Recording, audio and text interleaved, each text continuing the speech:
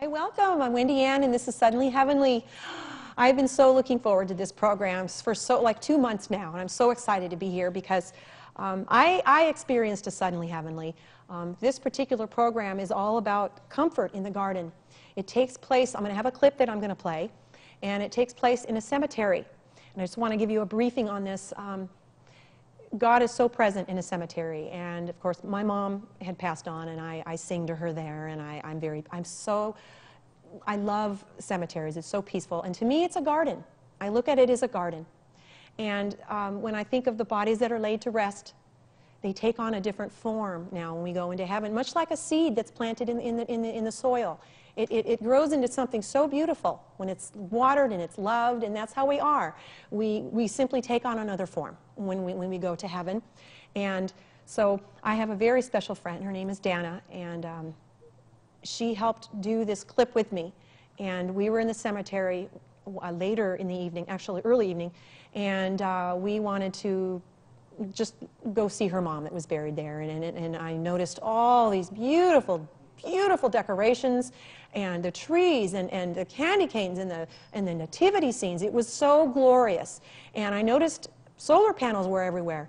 So I was praying again with my friend, and it was getting a little bit, you know, sun was going down. And there was a particular man that was highlighted. So the Holy Spirit put it on my heart. I want you to go know this man. I want you to go speak to him. So, so I was. I, I was obedient. I, I, went over there, and he was bundled up. It was really cold. And uh, I told him this tree that he was sitting by was so beautiful. It was purple and just glistening. And he said, Well, thank you. That was for my, my daughter, Timmery. And my heart just sank. I knew that this was, must have been so hard. He had lost his daughter, and, and then I'm going to, you'll see more in the clip. She had passed away when she was nine years old, and, and, and just the tribute that this family has given her with decorations on the tree, and he goes there every single day. This has been going on for seven years now, and so the Lord put it on my heart to beautifully highlight this lovely little girl. She's one of his little flowers that he took uh, very young at her age, but he's, she's in the presence of Jesus.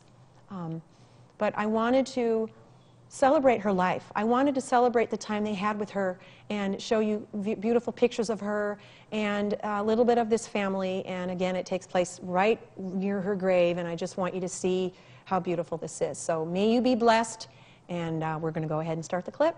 Go ahead.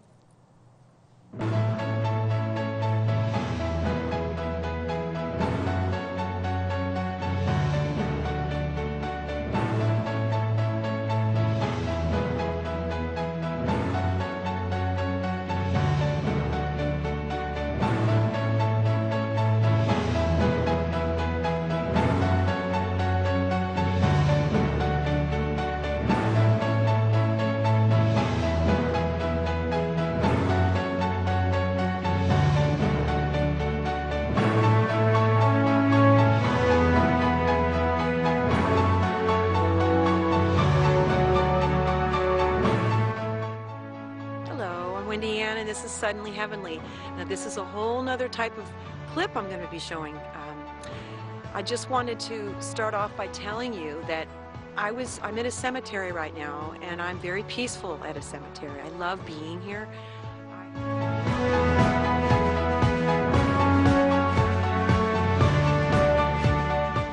Um, I was just really, really captivated by the most beautiful decorations, the tribute that people had on the most beautiful grounds here at the cemetery. I mean, life-size trees, and I noticed when I was walking around, I, I couldn't believe that, the solar panels and, and, the, and the, the, nativity scenes and the candy canes and the angels and everything I was seeing. And so Dana and I were here and there were just a couple people that were highlighted.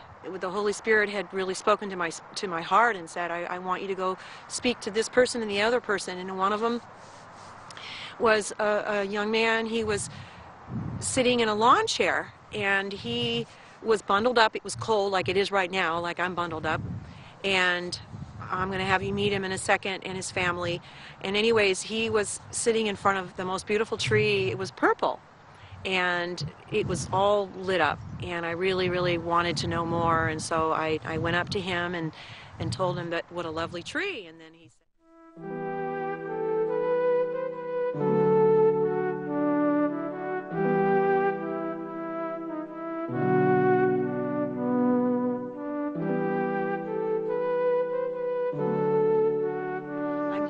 lovely family. I want to introduce to you Briley, and this is Jerry. Briley is the lovely sister of Tim Marie that, that had passed on, and this is their, her father. Um, you were talking about there's a ritual. There's something that you do that, that is all about your sister as well and, and your daughter. What what is it that you were talking about earlier? Um, Did So you sprinkle something around the tree? t- together we make uh, reindeer food. Which is- Oh, you do? We have a little How cute! It's oatmeal and glitter. Oh. So I made it this morning. And then what we do, we just take it out and sprinkle it on the grass. How cute is that? Is that something that she did? Yeah, we did that at home. And Home, we do it here, and, And then we have another, we have another friend over there, that we Isabella, give. that we go and we uh, Oh. give the reindeer we put reindeer food, food for her too. How sweet is that? And then also, um, you have decorations that that go on the tree.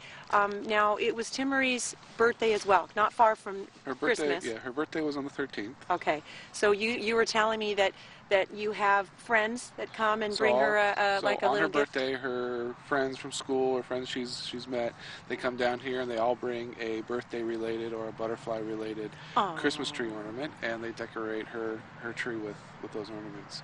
And we've been doing that for the last seven years. Seven years. My gosh, I can't believe it. And she would have been 16. Can you just tell me, from both of you, your, let's see, something that really stands out that, that you remember her by? Can you tell me something, Briley, that, that something maybe you did with her in the past, or little things that, that would, would only represent her? Um, Like something she loved, or something you did together as sisters, or can you think of anything? yeah, she, um, we always played dress up.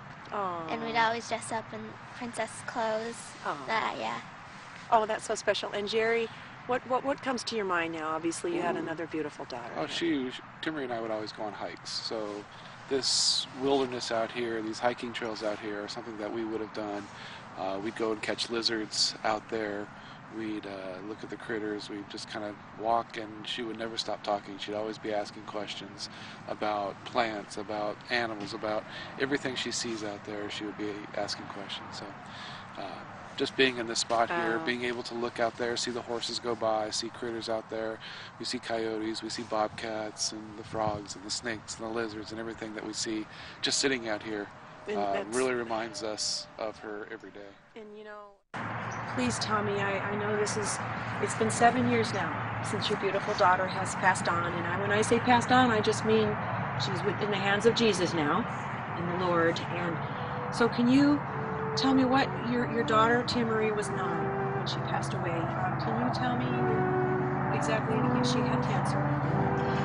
Yes. Um, Timmery was diagnosed when she was seven um, with a very rare cancer called orbital rhabdomyosarcoma, which is cancer of the muscle behind the eye, her left eye. So she endured treatment, and it's a very fast growing cancer, but it's also a fast dying. And the first time, the first year of her treatment, it was a textbook case.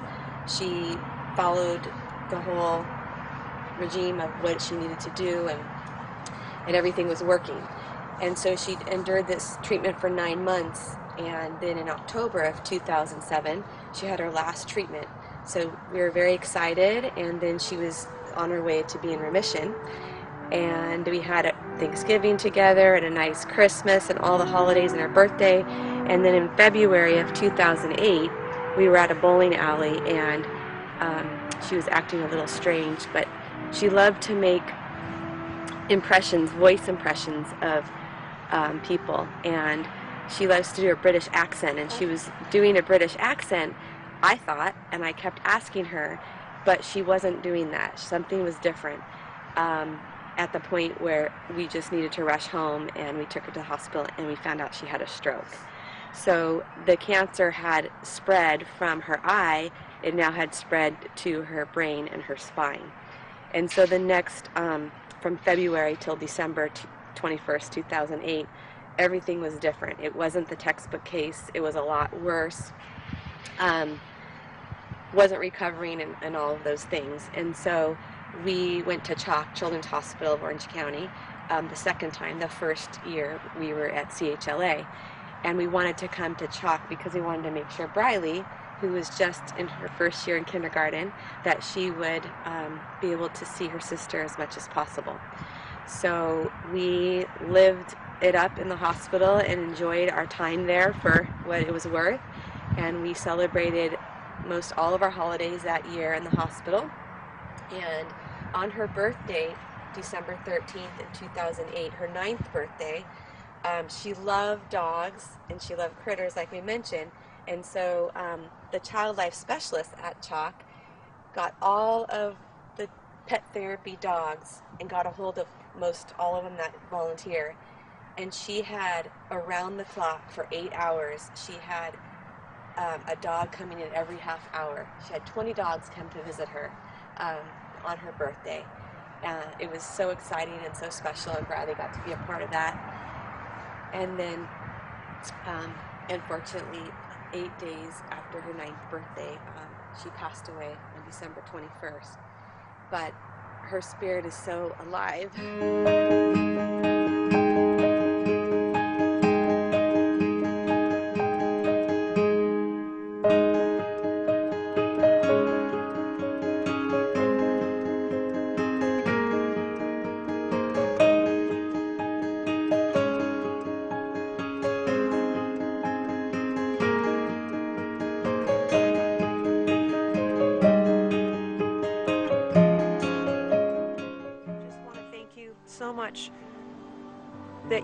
Brought me to this lovely family. Jerry and Debbie and Briley and Timmery. You know, we're all we're all together and you know what? Timmery is, is is hearing this. I know she is. And Lord, she is with you right now. So I thank you so much for bringing us all together.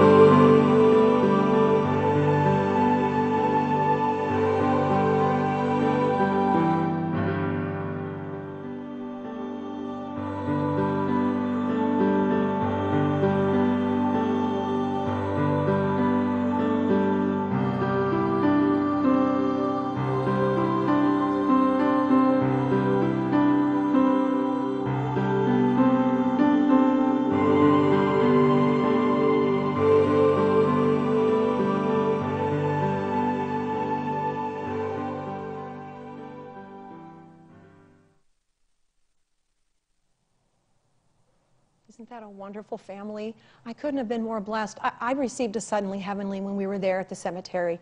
Um, you know, I have a perfect scripture, and I want to thank you, this wonderful family, Debbie and Jerry and Briley and beautiful Timmery, which is still very much alive, like I said on the, on the clip there. Um, in Psalm 34 18, the Lord is near to those who are brokenhearted and saves those who are crushed in spirit. That's probably why, you know, naturally being an encourager that I am, I think that's why I'm probably drawn to a cemetery. I, I, I, there's a lot of people that are hurting there, and I just, you know, bring out the best when I'm there, and I bring out God's glory when I'm there. That, that all the loved ones, again, they've taken on their heavenly bodies now, and that it's just kind of like a temporary separation right now, and then we see each other. And so I also want to talk about this scripture. This is Matthew 18:10. Take heed that you do not despise one of these little ones. For I say to you that in heaven their angels always see the face of my Father who is in heaven. This is so perfect, isn't it? And then another one is it's doing our part. It's 2 Corinthians 1 3 through 4. It's praised be to the God and Father of our Lord Jesus Christ, the Father of compassion and the God of all comfort who comforts us in all troubles so that we can comfort those in any trouble with the comfort we ourselves receive from God. And that's what we all, it's, it's all about that, comforting other people. You know, I've, I have not lost a child, so I can only imagine what that would be like. I've lost my mom, and I know I still cry for her. I miss her. So, again, um, I, this is just one flower out of that beautiful garden, that whole cemetery. This is one of their stories. So I wanted to just bring awareness. You know, we, we walk by and we see the graves and all that, and, and it's just, again, I, God had highlighted them. I wanted to bring out the beauty in this family. And then here's one more is Romans 8, 17 through 18. And if children, then heirs, heir of God and joint heirs with Christ, if indeed we suffer with him, that we may also be glorified together. For I consider that the sufferings of this present time are not worthy to be compared with the glory which shall be revealed in us. Amen. Amen. Amen on that one. Boy, we sure go through a lot. And so this will now lead me to, of course, being, like I said, the, the cemetery again, it's, it's like a garden to me. And so I thought it would be so perfect to talk about a song that I want to sing. It is called In the Garden, and uh, it's about Jesus in the garden, and it's a, it's a song of hope. And I want to give tribute to this song as well. It's so beautifully written. Um, I will tell you that it, it was written by C. Austin Miles, we'll call him Miles. Um, he was born in 1868, and he was actually a pharmacist. And, uh, you know, as he got older, and during the pharmacy times, um, he loved taking pictures. He was a photographer. And so he had that on the side, and he also kind of, he loved writing songs, hymns and songs. And he came up with one at, at some point, and it became really popular. And he realized this is what this is very rewarding to me. People are really touched. This is glorifying god. I want to do songs now. So he he really was kind of rolling that around and thinking i i i, I have to do this. I, I want to sing and I, or i'm sorry i want to do music for the lord. So um, during this time as well he was doing his like i said his photography. And he had his beautiful devotional time with, with the lord in his little homemade little dark room that he had, that he had made for, you know, developing the pictures and all.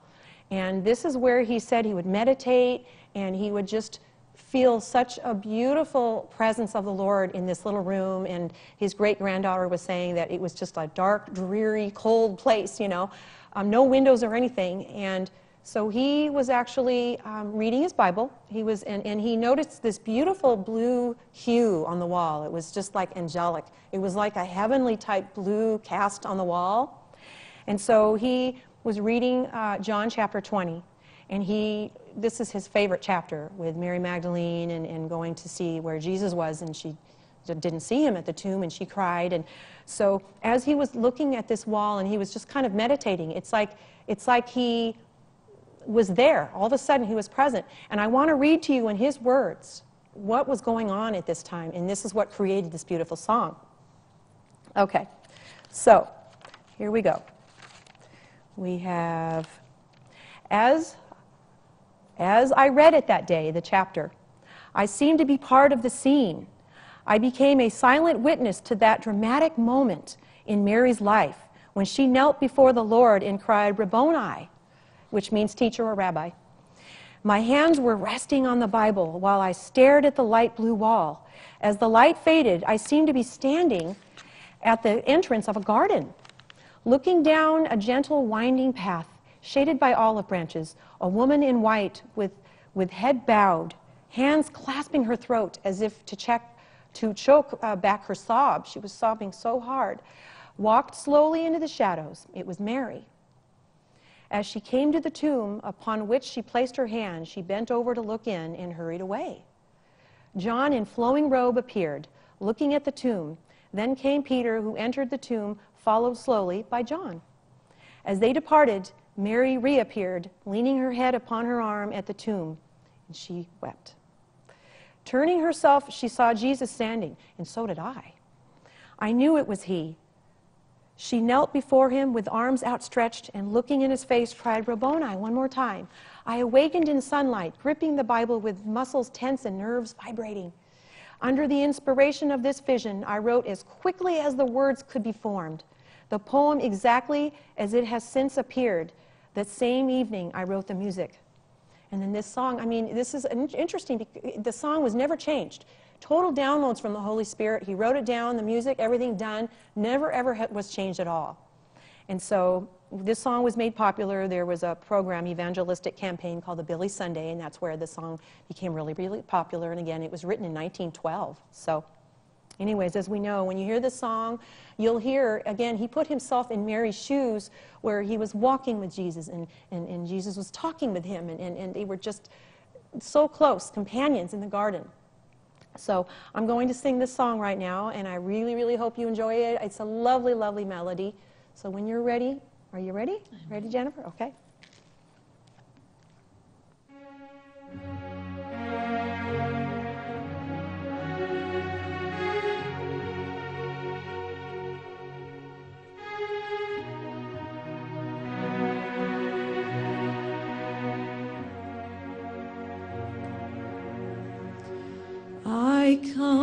Into the garden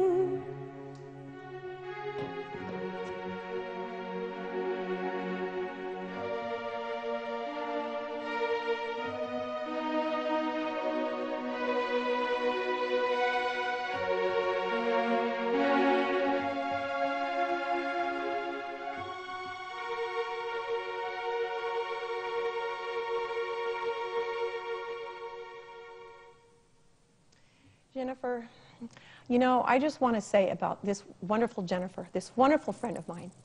We are very close, and you are just the most amazing keyboardist, pianist, everything. You, you sing and everything. I just want to thank you for being here because I am so happy when you're with me. Thank, you for doing that with me. just wanted to pay honor to my friend here. Okay, so we only have just a few minutes left. Um, I want to always give everybody an opportunity to give their heart to the Lord. You know, people have written beautiful songs when they've given their heart to the Lord. People do beautiful things, and, and life becomes wonderful when we give our heart when, our, when we give our heart to the Lord.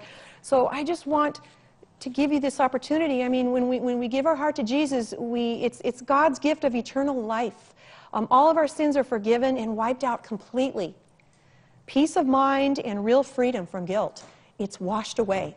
Everything is different. We see things different. We hear things different. We do things different. Our intentions and our heart are different. It's just the most beautiful life we can have. It's the way God always intended it to be. So I just want to go ahead and say this prayer with you. Please say it in your hearts, okay? Okay, so dear Lord Jesus, right now I choose to walk your way. Thank you for giving your life for me. I now receive your forgiveness for my past. I ask you to please come in and take control of my life. Thank you for your awesome gift of everlasting life. From this day forward, I want to follow you. Help me to understand your word and pray each day so I can live to bring honor and glory to you. Thank you for taking me into your family. I ask this in your name. Amen. Thank you for those of you that have received Christ in your heart. Welcome to the family. That's what I always say. And that this is your first suddenly heavenly if you haven't experienced one. Life is about to open up, and God is going to speak to you and, and show you things that you didn't see before. And so, another thing I wanted to share with you this is something that I found in my files. It is the cutest thing ever. and so, again, this whole show is about comfort in the garden. And so, this is a little, it's, I don't even know what you call it. It's not really a poem, but it's just a little something. I don't know. But it's called How to Plant a Special Garden. It's, again, it's really cute. I hope some of you really appreciate this. Um, first, you want to plant five rows of peas. Preparedness, promptness, perseverance, politeness, and prayer. Next to them, you want to plant three rows of squash squash gossip, squash criticism, and squash indifference. And then you want to do next the five rows of lettuce. Let us be faithful, let us be unselfish, let us be thankful, and let us love one another. Last but not least, no garden is complete without turnips. Turn up for worship, turn up with a smile, and turn up with determination. Hey, that's what it's all about. Is that the cutest thing or what? I just had to do that. So, again, I just want to thank you all for watching. And another thing, too, is what I want to bring awareness to this as well with, with going back to this lovely man, Miles, that had written this lovely song. One thing that he did that, that, that he became very good at is, is uh, again, meditating. He had his alone time, his quiet time with God. And that's when you can almost, it becomes an art, but it's, it's the way God would want it to be, where we're so meditating. It could be on a, on, a, on a scripture, it could be on a chapter. When you're reading the Word, just meditate on it. And it's almost like visual, visualize yourself being in this scene, just like Miles did. He, he visualized it, and before he knew it, he saw that he was actually there. He really felt like he was, and, and I, I believe that he was. He got these wonderful downloads, and then beautiful music was created from this. So it just, it's just quiet, quiet time with the Lord. And thank you, God, for bringing television here and for everybody to, to be blessed and to know who you are, Lord. And uh, thank you for, for, for all the blessings you're, you're, you're going to have on all these people. And thank you for this lovely family.